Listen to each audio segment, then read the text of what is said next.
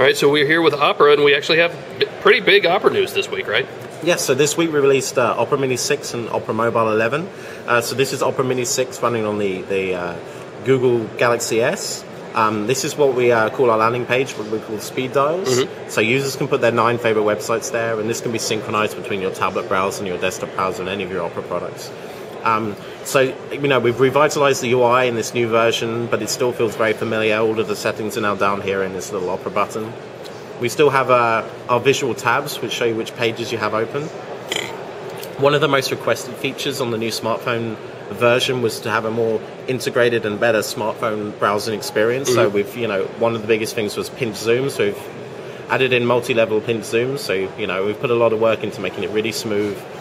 You know, uh, it's really it's really nice performance.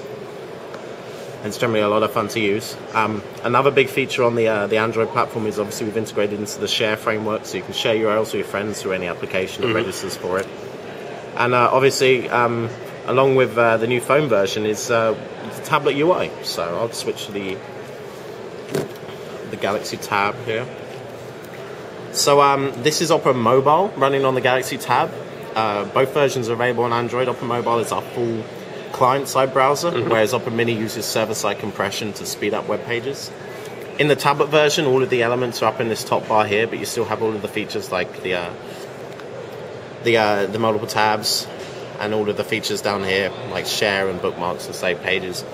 With the mobile version, we integrate into the plugin. Um, but as you can see here, uh, we do plugin on demand, so it won't load all of the Flash elements on the page. It'll just give you boxes where you can click to load up the Flash you want. So that saves. And obviously on this version, we put a lot of work into making it a really smooth experience as well.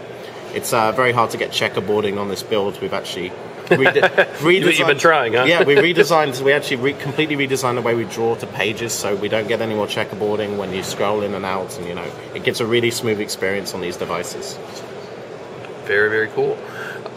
At this point, especially with the faster speeds, with LTE now really taking off here in the States, is do you see Opera Mini disappearing at any point, or is there enough legacy left and, and enough devices that are Well, um, on, on the high-end smartphone platforms, it really is like uh, we would recommend users download both, and then there are circumstances where you want to use one or the other. So, for example, if you're on Wi-Fi or on an LTE connection, then Opera Mobile is going to give you your best, best browsing experience, and we put a lot of work into increasing the level of standards performance. So, actually, we have uh, the highest level of HTML5 compliance of any mobile browser at the moment. So, you know, that's going to give you the best-in-class browsing experience. But then if you're roaming abroad or if you're on a slow network, there's definitely need for Opera Mini. It's going to give you those speed increases up to six times faster on slow networks, and you know the 90% compression if you're roaming and you're, you're on a metered uh, a metered per megabyte payment system. I mean, it's going to save you a lot of money as well. very, very cool?